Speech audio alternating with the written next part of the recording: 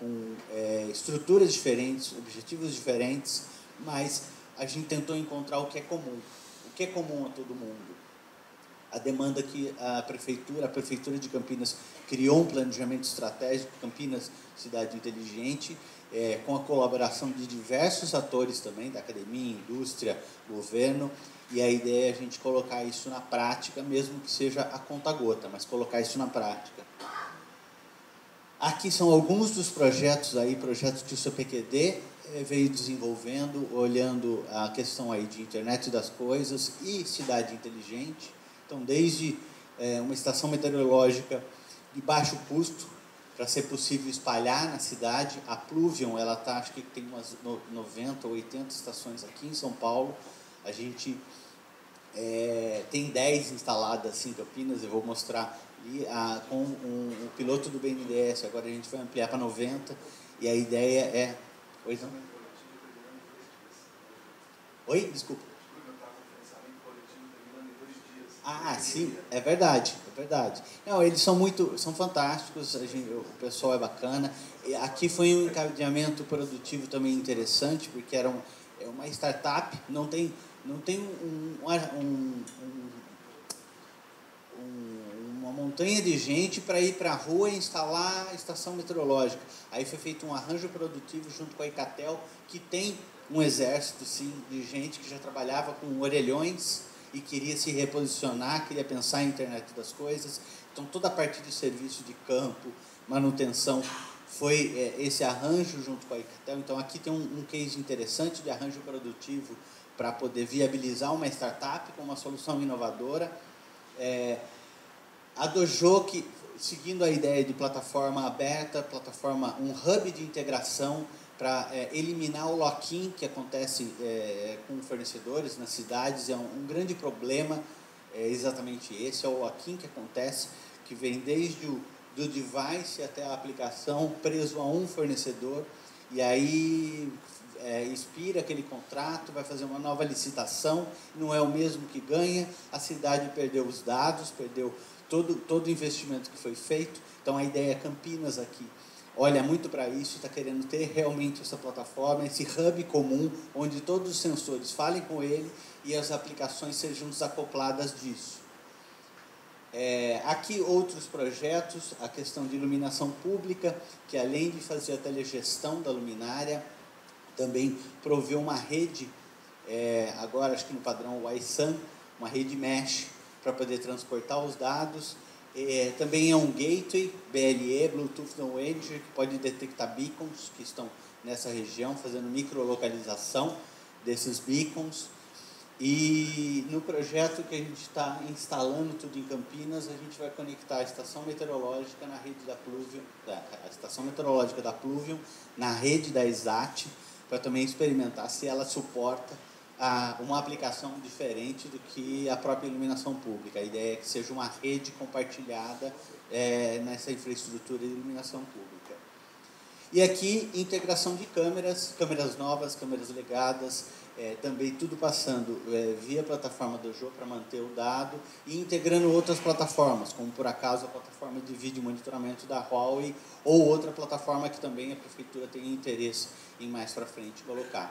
O importante é estar integrado e as aplicações nascerem dessa massa de dados e não vinculada a um protocolo, a um padrão de conexão de um fornecedor específico. Aqui são alguns exemplos, então, de aplicações que já estão rodando. A Dojo já está rodando. A Campinas é, conta com a IMA, que é o, o data center é, é, o provedor de dados e de infraestrutura computacional e rede é, da prefeitura. A Dojo já está rodando lá e rodando lá com algumas aplicações que estão sendo desenvolvidas a, após é, realizar alguns design sprints com a Secretaria de Segurança, com a Defesa Civil, com a Guarda Municipal, com a, INDEC, que é, é, é a nossa CET, lá, guardada as proporções, mas o pessoal de mobilidade, para identificar e priorizar aplicações é, que, que, que eles estão necessitando. E aqui então tem alguns exemplos nos screenshots. Eu também não consigo, até tem, tem algumas aplicações que eu não consigo acessar mesmo por questão de segurança. Então, aplicação de identificação facial eu não conseguiria eh, acessar daqui de, de qualquer maneira. Essa até daria para acessar, mas eu precisaria de internet, então eu trouxe alguns screenshots. Aqui a gente consegue ver as 10 estações é, meteorológicas instaladas em Campinas. É, a gente vai instalar mais 90 e isso vai formar um grid que vai conseguir dar a previsão, é, na verdade vai dar informações de clima e tempo. E aí tem vários parâmetros, temperatura, umidade, velocidade do vento, é, direção do vento, é, quantidade de chuva, nesses 90 pontos, formando um grid para ter isso em tempo real e, e trabalhando microclima, ou seja, trabalhando a tendência no microclima em tempo real. Aqui na outra tela já é uma integração que aí é o Analytics é, meteorológico da Pluvium, trabalhando essas informações e produzindo essa previsão de tempo. Também é interativo, o mapa, você consegue ver mais detalhes de, de cada é, informação. Aqui só para falar, é, inovação aberta, é, código aberto. Aqui é, é, algumas informações da plataforma do João, é um código aberto.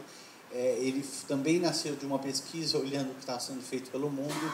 Nós acabamos adotando como base o framework do FIRE, que é um projeto europeu. É, é, hoje a Dojo ela tem, é, tem algumas coisas já diferentes avança, é, que avançamos segundo as necessidades locais, com a conversa com a indústria local, com a conversa com a própria prefeitura, é, mas ela nasceu com essa arquitetura de microserviços escaláveis, como é a do FAI, por isso que ele foi escolhido como base, principalmente pela arquitetura e não por um componente ou outro que estava lá. É, Aqui já é um conjunto de parceiros que é, olham e trabalham ou usam só a plataforma. É, eu, aqui é um, um, chamado, né? Eu trabalhando com software aberto, o professor também deve estar é, vendo isso, mas meu sentimento faz um ano e meio que a gente está trabalhando. Eu sinto que o brasileiro usa muito software aberto, mas não contribui com software aberto. É muito difícil formar essa comunidade e que o pessoal realmente fala, legal, eu usei, então eu vou devolver alguma coisa. Não existe isso, é muito pouco. A gente está com poucos parceiros. O Parque Tecnológico de Itaipu é um deles e falou, não, eu não quero só usar, eu quero contribuir, eu quero mexer, eu quero fazer o que eu estou precisando e deixar lá também. Então, esse é um dos parceiros que a gente conseguiu quitar realmente trabalhando conosco e ajudando a desenvolver o código aberto, desenvolver a Dojo como uma plataforma. Ele também, o, o PTI também tem iniciativas de cidade inteligente dentro do, do parque, não, ainda não extrapolou os limites do parque tecnológico, mas também trabalhando com esse intuito. Aqui eu só gostaria de deixar um convite, no dia 5 do 6, a gente vai ter um evento voltado às cidades inteligentes, lá em Campinas, no CPQD. Então, é um, é um evento também gratuito. A ideia é trazer também palestrantes interessantes, é, o, a programação já está no site. É, tem duas trilhas, tem uma de palestras e painéis para discussão de temas, projetos, o que está acontecendo em termos de cidade inteligente, e uma outra trilha, trilha que é um, é um treinamento, um mini curso de dojo, é, também com a ideia de ser prático, sair de lá com alguma coisa funcionando, com o sensor sendo coletado e já preparado para produzir as aplicações. Não, pode falar. É desenvolvedor de software. Tem alguns pré-requisitos é, é, é, é voltado para desenvolvimento de software. Precisa ter pelo menos uma base de desenvolvimento de software. No site. Eu posso mandar depois para você, se você quiser divulgar, mas procurando por Join Up Seats, vai chegar lá.